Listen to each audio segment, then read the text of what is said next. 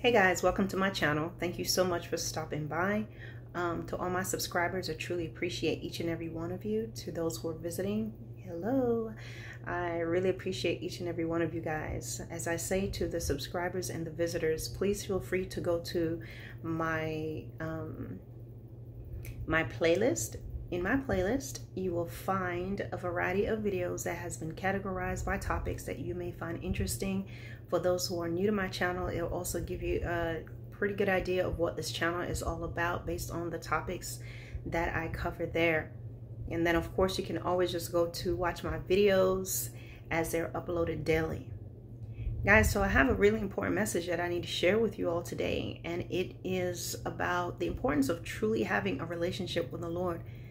There's a lot of people that's going to end up falling away falling away if you continue to allow negative thoughts, negative feelings to close in on you. All the enemy needs to do is just make a little deposit, a little deposit a day, a thought, a feeling. And if you do nothing about it, if you're not engaging with the word of God, whenever, you know, when Jesus was in the wilderness, when Satan came and tempted him, he always would give him the word of God. And if you don't know the word of God, I suggest you grab a Bible and get some something. look through those Psalms, look through the word. There's something you know. Even if it's even if it's just the Lord is my shepherd, you know something. Because what's happening, the enemy will sift you as wheat. He'll just take his time and sift you. You know, I think about like flour. You know, my grandmother used to have the flour and she put it like in a strainer and she'll just shake it and shake it. Even though it took a while, it was doing something. And so it's the same thing with the enemy right now. You have to get up and pray. You have to get in the word of God. You have to fast. You have to fast. You have to fast often the more you're fighting, the it's more likely that you need to fast often. At the very least, setting one day out of the week aside. You know, there are times that right now I fast once a week, but there are times the Lord will call me to like 30 days, you know, absolute. And that's several times in the year. So Guys, this battle is not for the weak. And if you're not rooted and grounded in Christ, you're going to find that you are the weak. If you are not, it's, you know, I remember someone says, we're not all as strong as you are. Uh, what does that mean? Has nothing to do with it. What do you mean you're not as strong as me? Are you serving the same God? Because it has nothing to do the word of God says the battle is not for the the swift or, or the strong. It has nothing to do with that. It has to do with I know I am weak, so I can't afford to be far from God. That's what it is. I've had enough of sin. I've had enough of the games of Satan. I know how he rolled, and I'm not trying to go back that way. And you better believe that when you're walking with God, don't think you can just go back to the enemy. It's going to be all, ooh, ooh. No, you know too much now. So in many cases, you're going to be better off dead to him Let's go ahead and cash in on him. Let's go on and cash in on her. So she won't even think to go back. Because you know too much. You see. You you've been on the side of, of God. You've been on, on the side of the army of God. You know too much. The enemy knows that that word can spring up within you at any time. He knows the word is quick and powerful and sharper than any two-edged sword, piercing even to the dividing asunder of soul and spirit, and of the joints and the marrow, and is a discerner of the thoughts and intents of the heart. So he knows the power of the word. So you want to go over there with him and, and backslide and going over there. I'm here to tell you that he's going to cash out on you because he's not going to allow the word to spring up. You have to make a decision. Are you going to serve God or not? And I'm not trying to be mean or insensitive, my brothers and sisters. I'm not. But you have to decide, am I going to serve God or not? It is not a feeling. I get tired like you guys do as well. I feel weary sometimes just like you all. But I don't allow those feelings to hold on to me. And I know, okay, this is going, I need to get up early. When the Lord's telling me to get up early, I need to get up early. I need to fast. Okay. I need to be in the Word of God. I need to not watch anything but the Word. I need to hear the Word as I'm sleeping. I need to hear the Word throughout my day. I need to be obedient to the Lord. I need to make sure that I'm not holding on to to any type of, you know, have any type of animosity or anything towards anybody in my heart. If you're not rooted in Christ, I'm telling you, this going back and forth, the things that you've been doing over the last few years and the things that you've been doing and you know leaving god for a spell for a season you're you see the enemy gets you very comfortable in that cycle.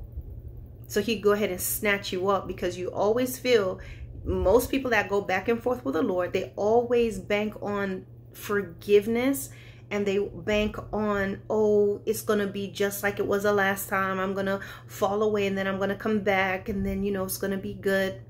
So the enemy allows you, he wants you to stay in that cycle. The whole time the Holy Spirit is speaking to you, the whole time he's trying to wake you up, the whole time he's trying to show you something, the whole time he's speaking to your heart and telling you the things that you need to change and work on and you're not listening. So I'm here to tell you that if you don't suit up and get into the Word of God and follow Him, you're going to fall away. That's it.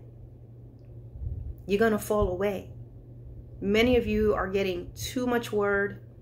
You know too much. You have a journal with things that the Lord has given to you to be at this point in time with people dropping like flies to be going, oh, I don't know my brothers, my sisters, if you don't know now, you you never gonna know. So I come to you humbly saying, choose, choose God. A lot of times the struggle is we just don't want to push past our habits, our comfort zone. We don't like to feel this way. But did Jesus not say that we would feel this way? Did he not tell us what was going to happen in in um what is it? Uh, Matthew 24, I believe. 23, 24, between 23 and 25. But I believe in 24, the Lord, this is what's going to happen. He, he speaks these things to us. So choose, my brothers and sisters. You got to stay strong. You got to hold on no matter what. You got to hold on. You got to pray no matter what. You got to say something to the Lord no matter what you feel inside. You have to speak the word of God no matter what. You have to speak against depression. You got to speak against that heavy spirit upon you. And I'm trying to tell you when the spirit of the Lord is up front and your spirit is in one accord with him, I'm trying to tell you that you can't stay in that type of a feeling, that type of a funk. So if you're feeling that way, what are you doing? Examine yourself. How much TV are you watching? How much Netflix are you watching versus how much time you're putting into the Word of God? And I'm not saying Jesus is, uh, I'm not saying the Lord is telling you, oh, well, only watch this much and, and that much. The Lord will speak to you individually. But I'm here to tell you if you find yourself falling into depression and falling away and contemplating things, I'm here to tell you, but then you're watching a whole lot of TV, you may want to cut back on that what are you watching? What are you listening to?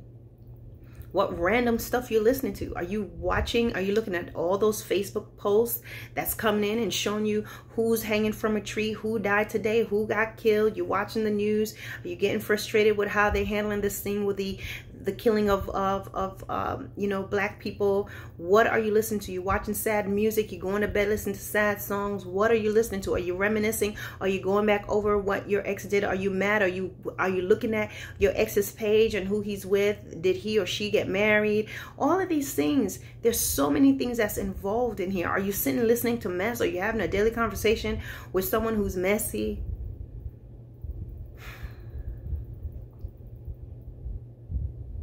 if you don't get rooted in Christ, you won't make it. There's no sugarcoating that. If you don't make that decision, you will not make it.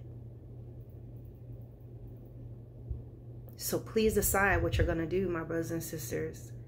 Again, I'm no stronger than anybody else. I'm just not budging. No matter what I feel, no matter what I feel, I feel a lot of things you feel.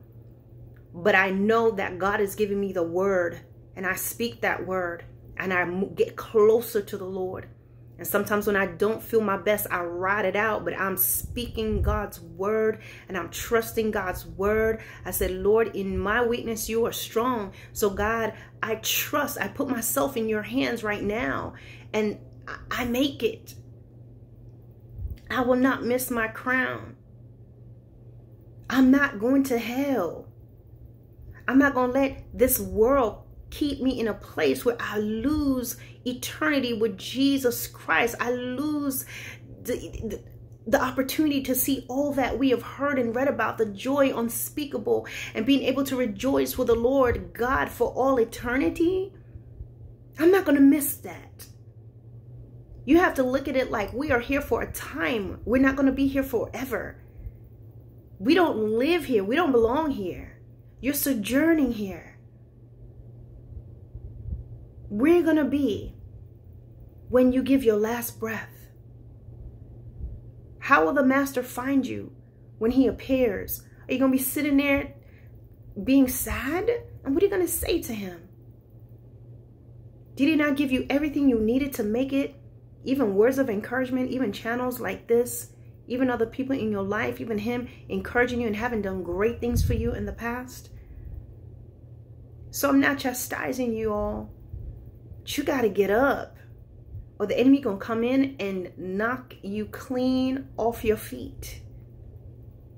And if he can bind you, she's going to come in and get everybody else. So wake up, soldier. Get up, soldier. You can't be sleeping. You better stay on guard and stay in the word of God and stay armored up. Don't start putting your sword down. Don't start loosening the belt of your your your armor. It's going to cost you. All right, guys. Peace out.